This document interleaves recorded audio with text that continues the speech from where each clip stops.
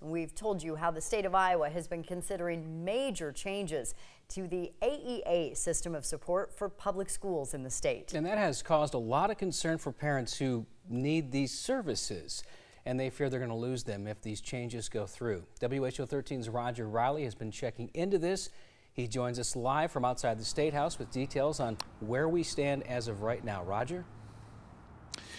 Yeah, right now I just uh, checking in with somebody that knows something about the AEA. For years, I've I've never really been involved with that to know what they do. Well, today I found out. I talked to Kelly Simmons of Des Moines. She told me that two of her three kids have needed services they could only get through the AEA.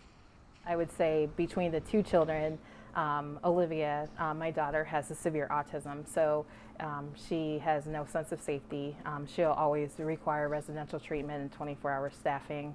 Um, and she, although she can speak, she's mostly nonverbal. Um, so speech therapy, assistive technology, um, and uh, even occupational therapy are things that we work on with her through the AEA. Now, it started with Kelly's oldest son, CJ. He had mild autism. Agency workers noticed her daughter, Olivia, at that time was one, and she has been as she's dealing with autism in a big way. Now, she has trouble sleeping and can have some emotional problems. Mom Kelly found herself being an advocate for special ed services. She even ran for and was elected to the Southeast Polk School Board. Now, she says resources for parents like her are scarce. New cases can often have to wait from two to four years to get service.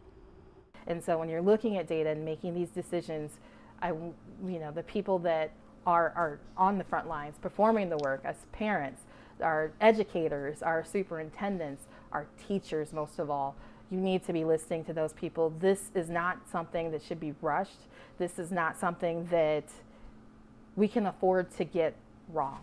Mm-hmm. We, are, as families, as parents out here, the children are already struggling.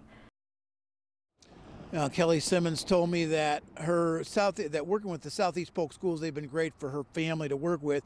Meanwhile, here at the State House tomorrow, that issue is going to be coming up again in subcommittee. Uh, lawmakers will be going back and working on those revisions and seeing what is revised and what does not get revised. Elias. All right, Roger Riley with the very latest on this uh, very big issue for a number of families here in our state tonight at the State House. Thank you, Roger.